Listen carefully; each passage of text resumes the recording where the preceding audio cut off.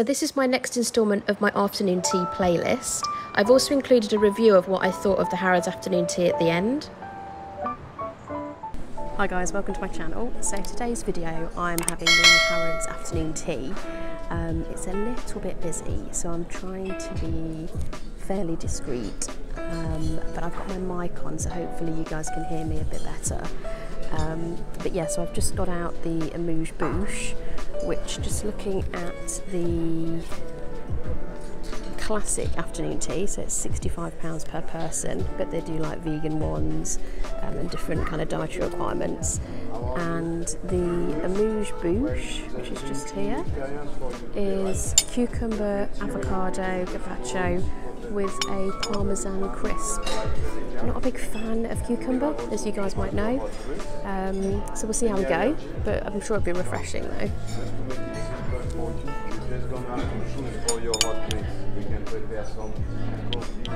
and also hot chocolate. Just in our you will find the full uh, hot drinks. Really simple.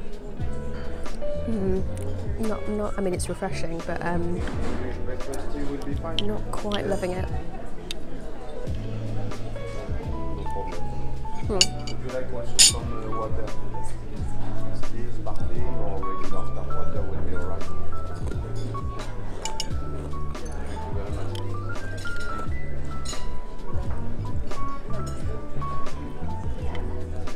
Mm, the Parmesan crisp's really nice. A nice kind of bite to it with the carpaccio. But um, yeah, I'm not a big fan of the cucumber. Okay, so we have cucumber with cream cheese on tomato bread, salmon vol au vent with orange mousse and fennel, egg with black truffle and asparagus, and a chicken and tarragon croquette. And just in the front is a parmesan madeleine with sour cream and caviar. Brilliant. You then have a chocolate delice with passion fruit, lime timut and coconut sponge, strawberry and raspberry yuzu, and an apricot and almond tart. Brilliant. Enjoy. Thanks a lot.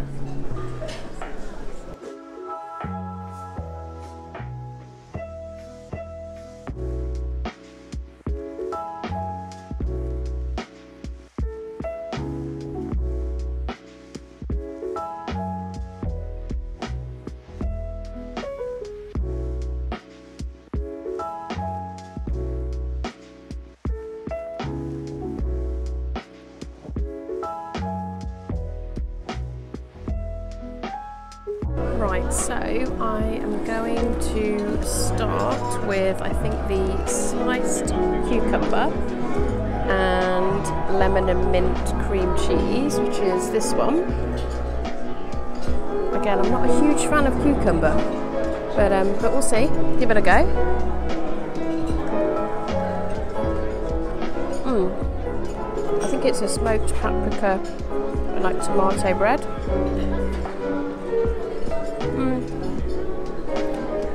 It's not too bad. But again, I'm not a massive fan of cucumber. And I don't think it's a bottomless afternoon tea here because they've only given you individual um, little mini like sandwiches and au and things. But I'm not quite sure, so we'll see what they say uh, later on. But yeah, I wouldn't necessarily rush to get the cucumber sandwich just because I'm not not a big fan, but you guys might love it. Let's go with the next one.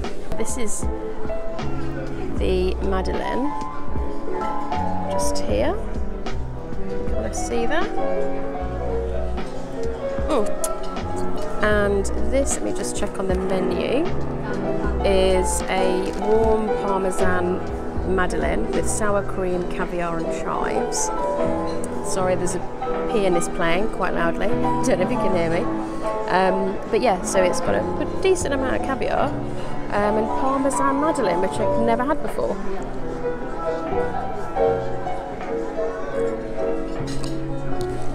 Oh, you can definitely taste the um, Parmesan.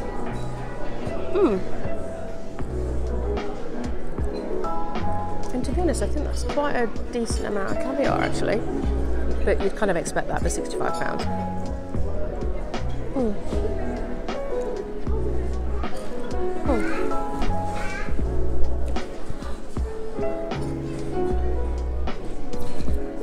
so keen on the sour cream element, but that's because I don't really like sour cream.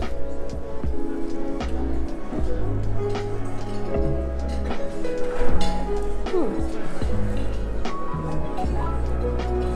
Not too bad. It does seem a little bit dry, but I'm not sure because I don't think I've had a Madeleine before, so I don't know if they're meant to be quite dry.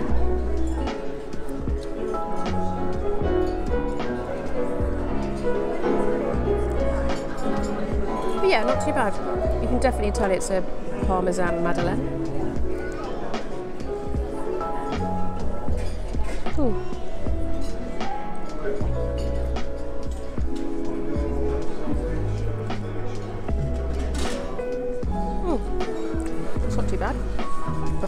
To the cucumber sandwich.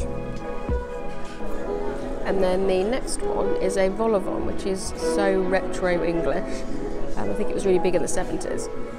It's basically um, a little mini, I think it's puff pastry, um, and it's smoked salmon with fennel and I think a mousse. I think it's fennel and orange mousse, which I think is quite nice. It's quite a good size. It smells nice.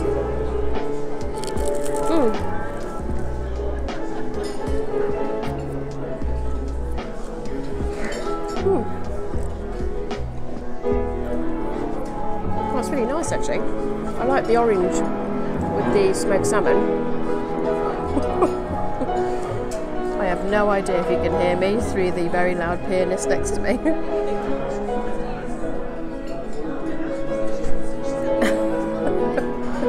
Hopefully the mic is doing something. Hmm.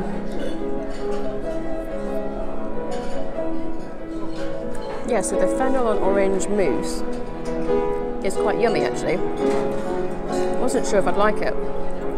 So the next item is a, I think it's, let me just check, it's a chicken um, and tarragon croquette with a sweet corn cream, which looks nice. It's still nice and warm.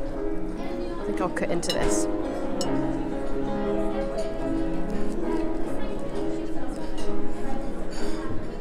and then that's what it looks like inside with the um, sweet corn cream.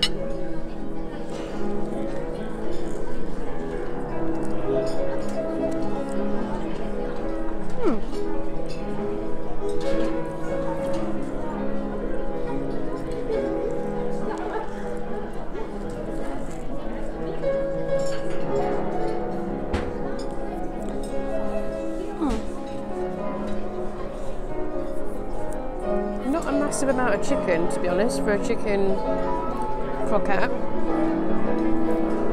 Hmm. It's mainly full of mashed potato. Um, but yeah, not much tarragon or chicken.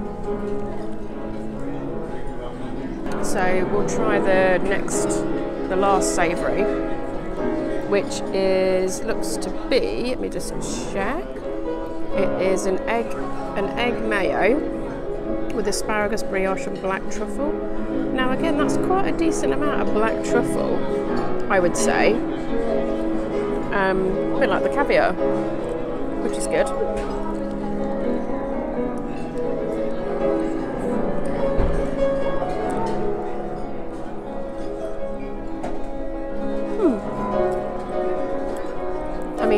An egg mayo sandwich. It's okay. I've had better egg mayo sandwiches in other afternoon teas, which I'll link the playlist in the um, description bar. But I like the fact that there's a decent amount of uh, black truffle on there, shavings.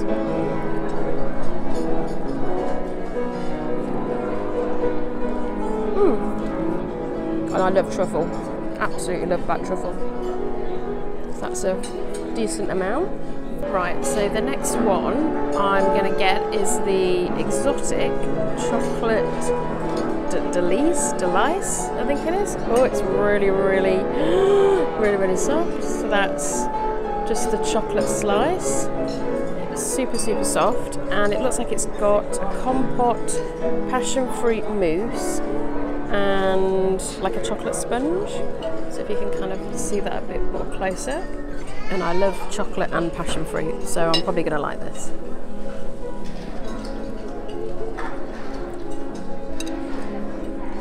Hmm. Yeah, that's nice. So far, that's the best item on the afternoon tea, I think. But then I'm a bit biased because I love the sweet things.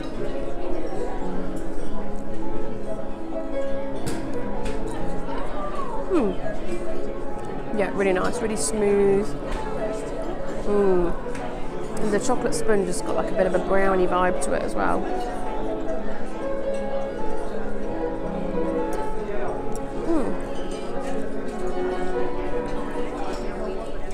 they did just take away my bottom tray. They did ask me if I wanted any more sandwiches, so I guess it isn't bottomless.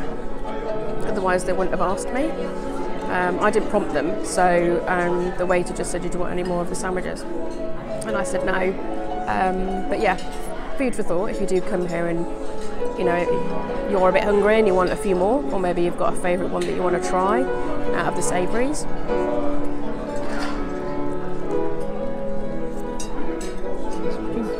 Thank you.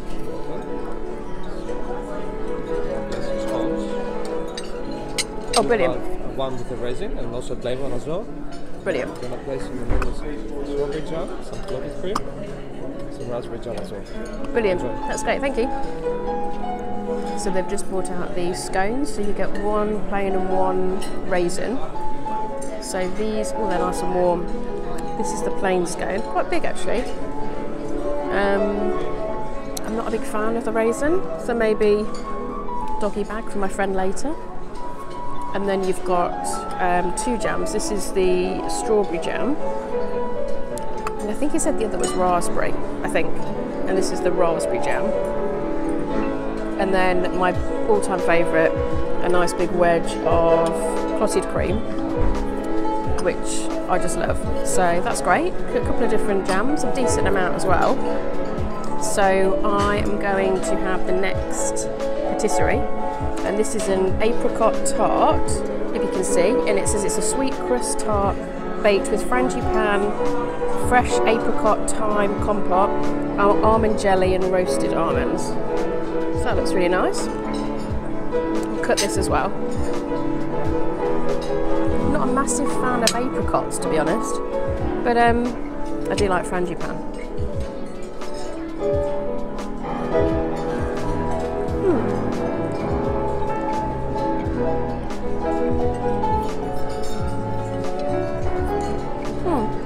That's okay. I still think I prefer the chocolate slice. This is nice and refreshing as well, though. Hmm.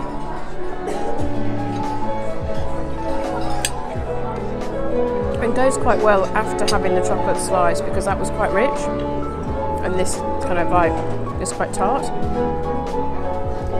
So I'm going to try and pick this up. I have a feeling it's going to collapse on me. It is. It's gorgeous green. So it's lime and timut. I'm not sure what timut is. Let me know if you guys know. And it says it's a lime custard cream with lime timut, pepper jelly, and coconut sponge, which looks really cute. And it's cold. Let's try and cut it up. So when you break inside, you can see just inside there what it looks like. Decent filling.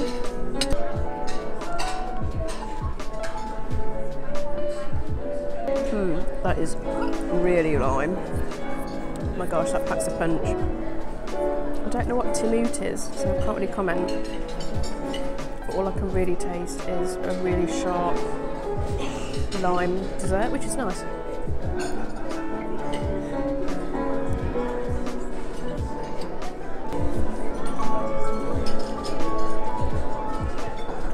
Yep, it's really sharp, but I really love lime, so that was actually really quite nice. I'll probably have that again actually, but the chocolate slice is still winning. That's still my favourite so far. So one um, patisserie left. Now this is meant to be a strawberry yuzu. I'm not quite sure what yuzu is. Um, oh gosh, I can't pick it up. raspberry. So it's meant to be a, a raspberry choux sponge, which is kind of collapsing on me. A strawberry jelly and a strawberry yuzu whipped um, ganache. Yeah, it has kind of felt a bits though. It's a bit soft. Sure if yuzu is alcohol. We'll soon find out.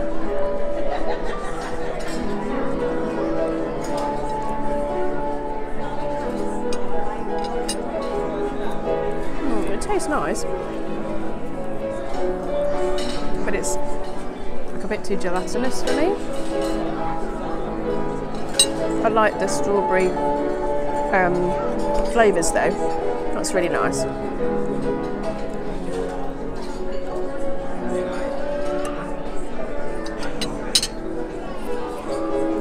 It looks really pretty as well. Really, really pretty. Okay, so I've just checked. It's a fruit. I didn't know that. But um, I like it.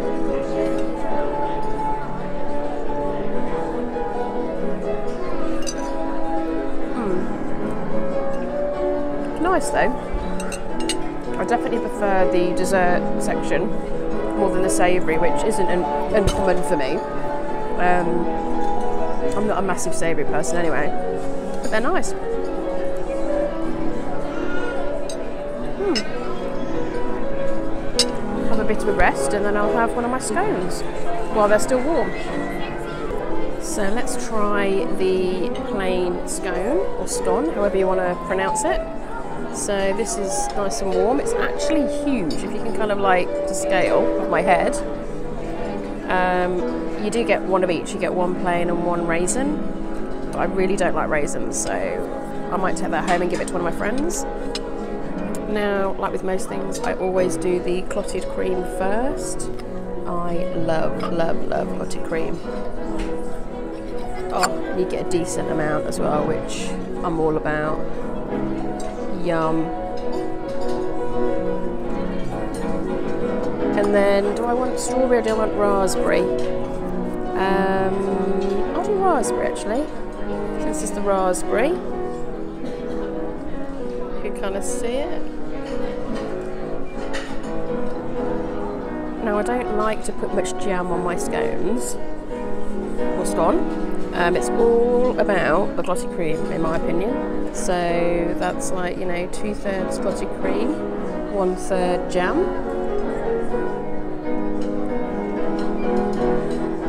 Mm. Oh, that's good. That's a really nice scone. It's really nice and fluffy inside, not too dense, but really crisp outside. Hmm. Now, I recently went to the Ritz in London, and these are better scones than the ones at the Ritz in London, in my opinion.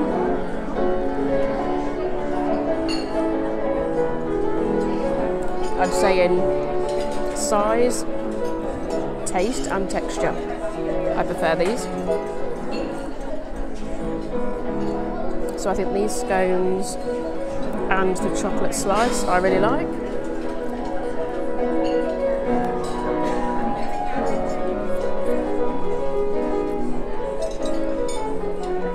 And the raspberry jam is really nice, it's really tart.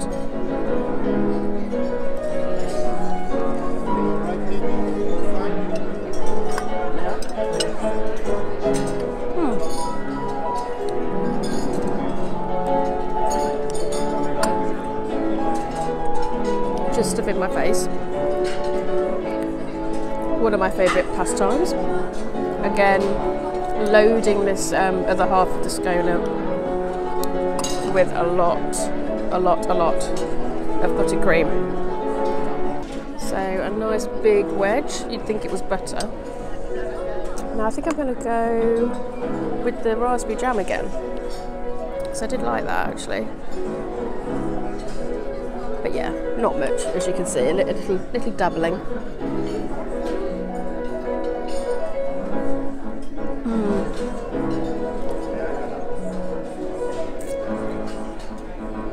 Yeah, very nice. But I think as well you can go downstairs at the Harrods Food Hall and you can buy their scones individually in the food section. So you didn't want to come and have an afternoon tea and spend £65, you may just want to get a couple of the scones from downstairs. May as well make the most of it.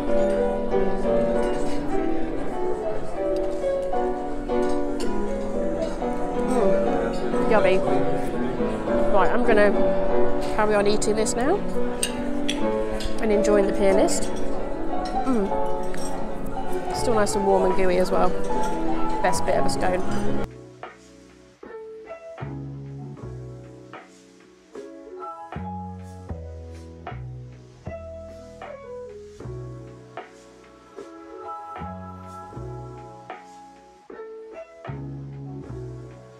Guys, so I've just got back from London. It was a bit of a mission because there's like strikes on and stuff in London.